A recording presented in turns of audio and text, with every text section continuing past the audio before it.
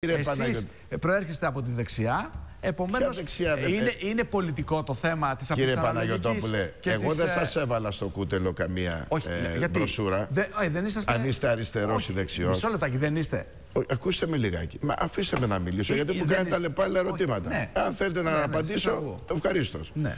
Λοιπόν, δεν υπάρχει το, η πολιτική αφετηρία, αυτό λέω. Ως, ε, Έχει 58% η δεξιά.